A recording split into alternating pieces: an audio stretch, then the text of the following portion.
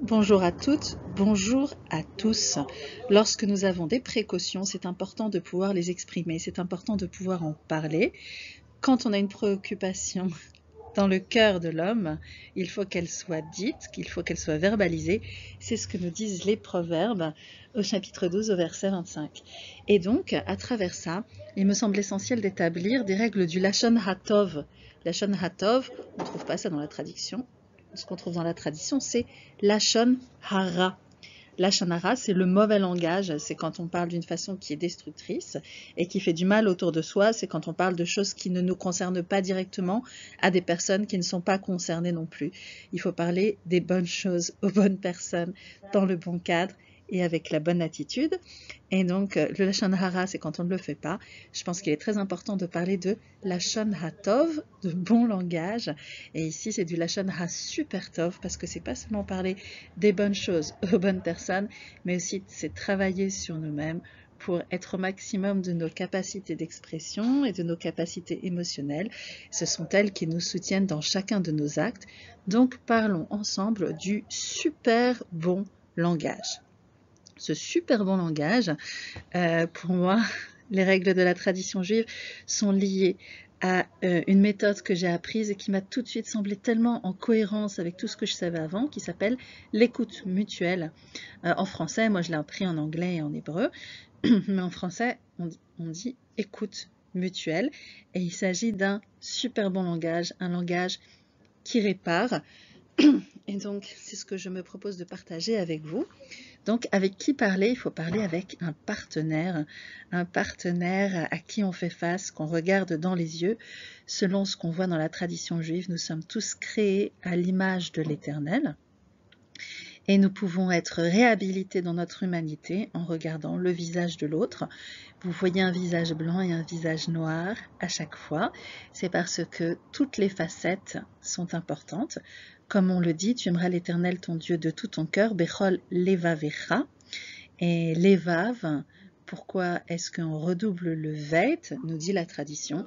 C'est parce que toutes les parties du cœur sont destinées à exprimer le meilleur de nous-mêmes, y compris le Yetzer Hatov, le penchant au bien, y compris le Yetzer Hara, le penchant au mal, il faudrait définir euh, ce qu'est cette expression, mais ce n'est pas le sujet maintenant. Le sujet, c'est de dire que toutes les facettes de nos émotions sont à notre service, d'autant plus si on est conscient de euh, leur existence et si on les admet et qu'on les travaille. Donc, il faut quelqu'un avec qui se mettre en face à face et il faut un temps, il faut dédier un temps, ça c'est une chose qu'on connaît beaucoup aussi dans notre tradition on dédie un temps aux choses et ce temps, cette façon de chronométrer le temps qu'on passe à faire du bon langage, du super bon langage, euh, de l'écoute mutuelle, la façon dont on le chronomètre nous permet de sortir ce temps de la normalité. Comme le Shabbat a un début et une fin, et entre les deux, c'est un temps spécial.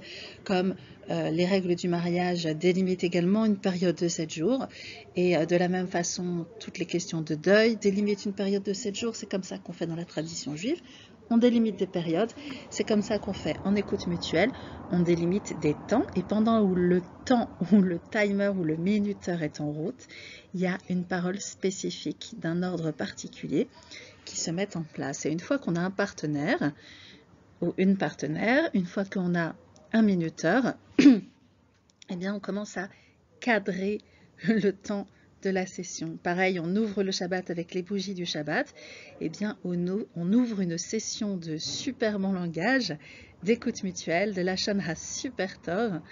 Euh, on la commence avec quelque chose de bon et de nouveau, une phrase sur une chose réjouissante et récente dans nos vies. C'est très important parce que ça nous permet de voir ce qui va bien dans nos vies. Et plus on voit ce qui va bien dans nos vies, plus de la même façon, on peut aller profond dans ce qui va pas bien pour le traiter, pour le travailler, pour lui faire face et pour ensuite de nouveau revenir à ce qui va bien. Donc c'est très très important à la fois en exercice tout seul comme ça de dire régulièrement une phrase sur une chose réjouissante et récente de nos vies, mais plus particulièrement encore à chaque rencontre d'écoute mutuelle ou de lachon super tov. Et ça rejoint en réalité une pratique de notre tradition. C'est le Talmud de Jérusalem, dans le traité Kiddushin, qui dit que toute personne doit assumer la responsabilité qu'il ou qu'elle a au sujet des bonnes choses qu'elle a vues et dont elle n'a pas profité. Chaque personne doit faire ça. Et euh, le Talmud de Babylone nous dit, toute personne qui profite de ce monde sans faire de bénédiction, c'est comme s'il avait commis un larcin vis-à-vis de l'Éternel lui-même et vis-à-vis de la communauté humaine, de la communauté d'Israël, mais c'est valable pour tout le monde, parce que on doit prendre le bien du monde, on doit le voir, on doit en profiter et on doit faire en sorte que ça serve le meilleur de ce que nous pouvons également réaliser. Donc, on commence par une phrase sur une chose réjouissante et récente dans nos vies qui, en fait, renvoie à toutes les reconnaissances que nous faisons quand nous faisons des brachot, quand nous prononçons des bénédictions. Et ensuite, on prend ce temps, on met le minuteur sur 5 minutes et l'autre m'écoute en silence. Ça peut être l'un en premier, ça peut être l'autre en, premier, c'est comme on veut, mais l'un des partenaires écoute l'autre en silence.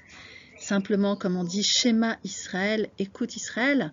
Alors bien sûr, euh, l'Éternel est notre Dieu, l'Éternel est un à la suite de la phrase. Là, ce qu'on nous dit, c'est que euh, il y a une unité entre nous tous et toutes, quelque chose de plus grand que nous, et cette étincelle de création que nous avons en nous, cette liberté, cette confiance. Et donc si je si j'écoute l'autre euh, en lui faisant confiance, eh bien je lui laisse le temps de voir quelle est sa façon à lui ou à elle d'avancer et de trouver ses propres solutions. Donc on va voir tous les éléments qui se passent à l'intérieur et euh, on essaye de trouver la meilleure façon de les travailler. Il y a plein de méthodes, on peut apprendre ça en 36 heures, ça vaut vraiment la peine de le faire. Mais si on ne l'a pas appris, rien que 5 minutes où on exprime sans être interrompu ce qui nous tient à cœur et ce qui se passe dans nos vies, c'est déjà très très fort. Donc euh, voilà, par exemple, l'autre m'écoute en silence pendant 5 minutes. Et ensuite, euh, on alternera, c'est pour tout à l'heure, mais euh, le lien avec notre tradition, on peut dire que c'est tu aimeras ton prochain comme toi-même. C'est ce que nous dit le Lévitique. Il faut nous aimer nous-mêmes, il faut aimer notre prochain et regarder l'autre en lui donnant du temps. C'est un, engagement d'amour très puissant et très euh, qui nous donne beaucoup de force. Je voudrais dire euh, empowerant, euh, si le mot existait en français. Et ça reprend ce qu'on voit aussi dans les Pirkei Avot. Si je ne suis pas pour moi, qui le sera? Si je ne suis que pour moi, que suis-je? Il faut être pour nous-mêmes et il faut être pour les autres. Il faut faire cela activement, pas passivement, pas juste dans son cœur, on espère qu'on est gentil, euh, mais euh, de façon beaucoup plus forte que ça, en mettant notre force d'écoute et de confiance au service de l'autre. Et donc c'est comme ça que euh, se déroulent ces cinq minutes de session. Quand on est formé, on peut faire beaucoup plus longtemps que ça, en silence absolu ou parfois le, euh, plus tard, c'est possible d'entrer dans les longues sessions de plus de 30 minutes, de commencer à faire rentrer des suggestions de direction de travail. Mais le silence, c'est vraiment l'essentiel, le contact, le regard. Et donc pendant que moi je parle, on m'écoute, la personne en face m'écoute en silence, et pendant qu'elle parle, moi, je l'écoute en silence, en pensant simplement à cette confiance que j'ai dans la capacité de chaque individu à accéder à ses propres solutions, et quelle que soit la difficulté de ce que vit la personne, l'important c'est que je suis avec elle dans ce qu'elle expérimente avec cette confiance-là pour qu'elle puisse y faire face. Donc, euh, on voit ici que euh, euh, pas de conseil du tout et pas d'immixtion. et donc, une fois qu'on a fait ça, que l'une des deux personnes s'est exprimée, on passe au retour à la vie réelle, une phrase très concrète pour revenir au défi du présent. Et puis la personne qui a parlé aussi a besoin de se rattacher de nouveau à la réalité, euh, pour être elle-même en mesure ensuite d'écouter de nouveau, de, redonner de l'attention, de redonner les cinq minutes à la personne qui l'a écouté, que ce soit maintenant cette autre personne qui puisse parler. Donc une phrase très concrète pour revenir au défi du présent. Et c'est quelque chose d'important. Et ça nous rattache à la fin des Pirkei Avot. Si je n'agis pas maintenant, quand? Nous avons une action à mener dans le monde et pour ça, nous avons besoin d'être au maximum de nos possibilités. Si je suis coincée dans mon cœur par des sentiments parasites, par euh, des soucis, euh, je ne peux pas réagir euh, en pleine possession de mes moyens aux situations auxquelles je fais face. Donc, je prends soin de moi pour être en bon état et je prends soin de l'autre parce que ça se répond et que les deux fonctionnent ensemble. Et ensuite, nous passons à l'action. Si je n'agis pas maintenant, quand nous disent les Pirkei Avot.